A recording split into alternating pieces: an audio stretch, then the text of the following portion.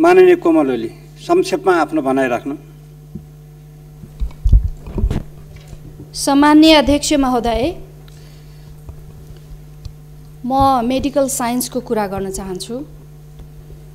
कुनै पनि व्यक्तिलाई चिनी रोग भयो भने र त्यसलाई समयमै नियन्त्रण गरिएन भने त्यसका कारणले धेरै रोगहरू उत्पन्न हुन्छन् र धेरै रोगहरू जन्मन्छन्। जसरी एउटा छालाबाट ज्याकेट बन्छ ब्याग बन्छ बेल्ट बन्छ जुत्ता बन्छ।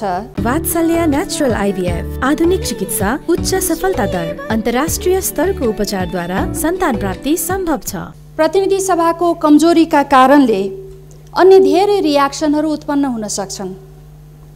त्यो रियाक्सनलाई रोक्नका लागि त्यो रियाक्सनबाट उत्पन्न हुने खतरालाई रोक्नका लागि सभामुख इमान्दार हुनुपर्छ। र सभामुखज्यूले त्यो कुर्सीको महत्त्व राख्न सक्नुपर्छ।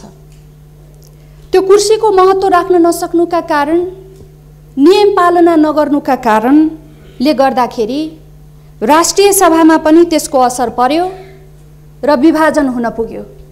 सामान्य अध्यक्ष महोदय मेडिकल साइन्समा कुनै मानिसलाई ज्वरो आयो भने बिरामीलाई तातो पानीले टाउको सेकाउँदा पनि निको हुन्छ।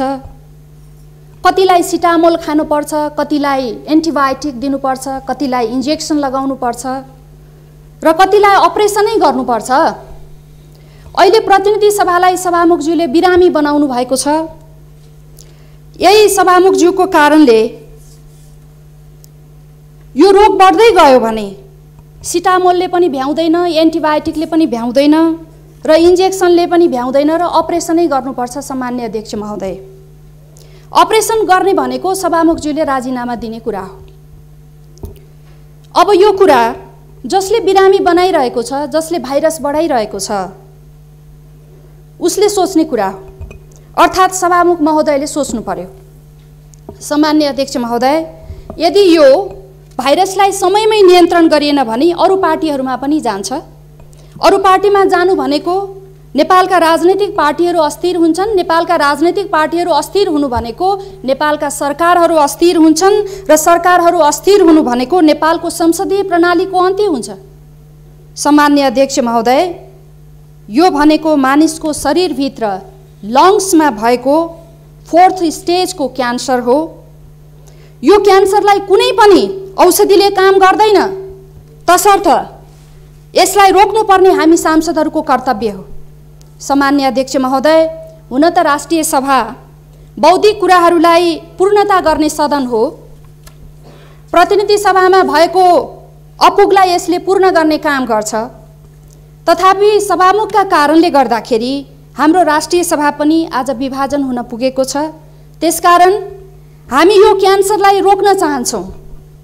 यो रोक्नका निम्ति कठोर निर्णय गर्नुपर्ने अवस्था आयो।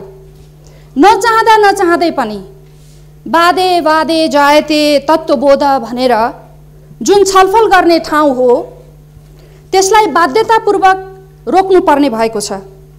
यो रोक्नुको मतलब फोर्थ स्टेजको क्यान्सरलाई अगाडि बढ्न नदिनु हो।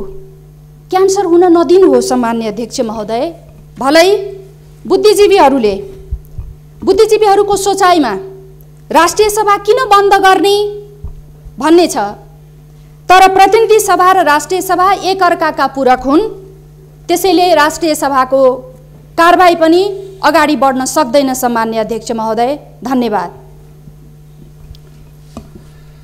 माननीय सदस्यहरू यहाँहरूले आफ्नो कुरा बारम्बार राख्नु भएको छ।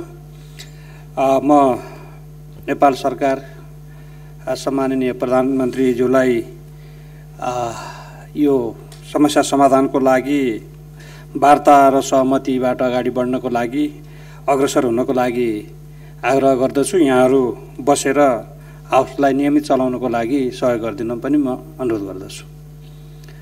यहाँहरू कुरा राख्नु भएको छ। राष्ट्रले सबैले सुनेको पनि छ र छलफल र संवादबाट नै समाधान निस्कने हो। त्यसो भएको हुँदाखेरि हामी छलफलको माध्यमतिर जाउँ। Música